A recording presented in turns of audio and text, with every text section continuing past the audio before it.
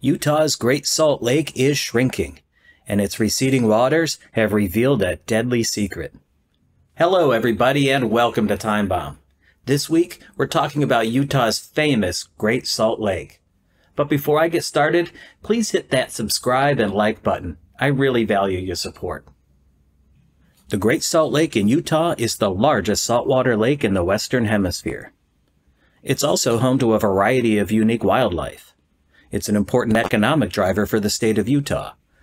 That lake supports a number of industries, including tourism, recreation, and mineral extraction. However, the Great Salt Lake is in danger. Due to various reasons, the lake has shrunk by over 60% since the 1980s. This has exposed thousands of square miles of lake bed, which is contaminated with a variety of toxic metals and compounds. When the lake bed is exposed to the wind, it can create dust storms that carry these toxic materials into the air. This can have a serious impact on the health of people living near the lake, particularly those with respiratory problems. Three rivers, the Bear, Weber, and Jordan, all flow into the Great Salt Lake.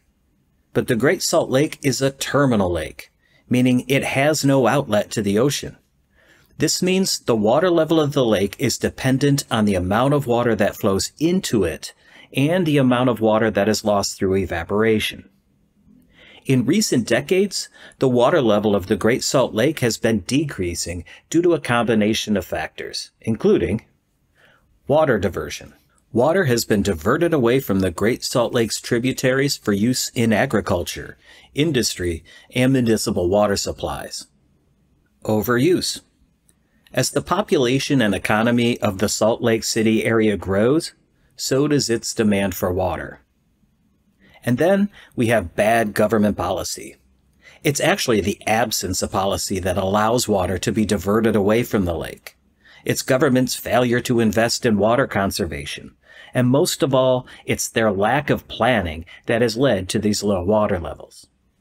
Listen to this comment from Utah Senator Mitt Romney when he was asked about the Great Salt Lake and the low water situation.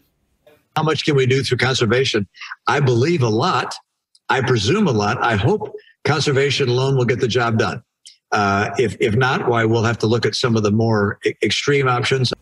So we know there is less water flowing into the Great Salt Lake, but there is also the water leaving the lake. As I said before, the Great Salt Lake is a terminal lake, meaning it has no outflow. However, we still have evaporation. The rate of evaporation at the Great Salt Lake has been increasing, and there's a number of factors that contribute to this. Higher temperatures, drought, increased urbanization, and the size of the lake. All of these factors make temperatures higher and therefore increase the evaporation rate and loss of water from the Great Salt Lake. One of the things that I love about the Great Salt Lake is that the United States Geological Survey has been tracking the water level since 1875. This makes the Great Salt Lake one of the longest monitored lakes in the world.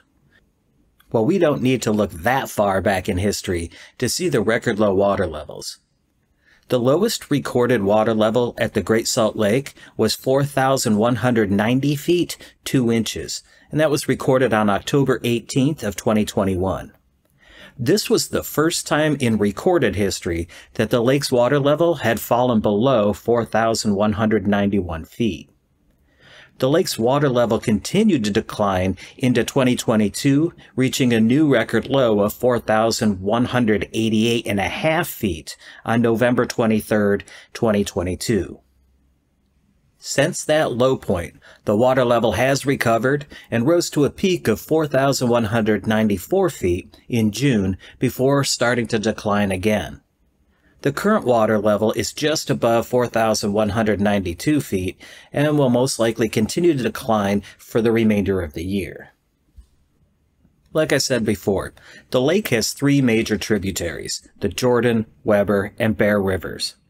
Together, they deposit around 1.1 million tons of minerals in the lake every year.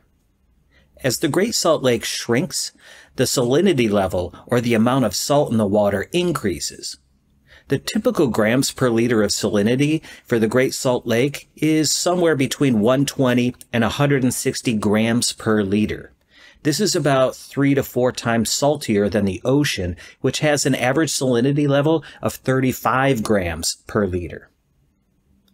However, the salinity level at the Great Salt Lake varies depending on the location and the time of year. The north arm of the lake is generally saltier than the south arm of the lake, and the salinity of both arms tends to increase during the summer months. In recent years, the salinity of the Great Salt Lake has been increasing due to the declining water level. This is because the salt is becoming more concentrated as the water evaporates. Recent testing found the salinity level had risen to well over 200 grams per liter. That's over five times saltier than ocean water. A shrinking lake means a growing exposed lake bed. And that lake bed contains a variety of toxic metals and compounds, including arsenic, a known carcinogen, selenium, an essential nutrient, yes, but too much can be toxic, mercury, a neurotoxin that leads to brain damage, and lead, also a neurotoxin that can cause a variety of other health issues. This toxic air is a serious public health threat. Exposure to the toxic metals and compounds in the dust can cause a variety of health problems. You get the picture, right? This stuff is bad. You do not want it in the air you breathe. When I talk about the Great Salt Lake shrinking, I'm talking about the size of the lake over the last few decades but the Great Salt Lake was once part of a much larger prehistoric lake known as Bonneville. Lake Bonneville existed during the last ice age and covered much of present-day Utah and parts of its neighboring states, including Idaho and Nevada. It was one of the largest lakes in North America at the time. Here, we can see just how big Lake Bonneville was compared to the Great Salt Lake. Over thousands of years, Lake Bonneville gradually dried up due to changing climate conditions and a significant reduction in precipitation. That drying process left behind several smaller lakes, with the Great Salt Lake being the largest among them. Now maybe the Great Salt Lake is destined to dry up just like Bonneville. Or maybe they will find a way to finally stop the water levels from declining. I mean, the choice is simple. You either deal with the Great Salt Lake's water level or you deal with the toxic air situation. Please let me know your thoughts in the comments section. There's a lot to digest here and there's probably a lot of good ideas. I'd like to hear all of them and I'll do my best to respond. Well, that's it for this week. As always, thank you for watching. Please check out some of my other videos and please consider subscribing to my channel. I really value your support.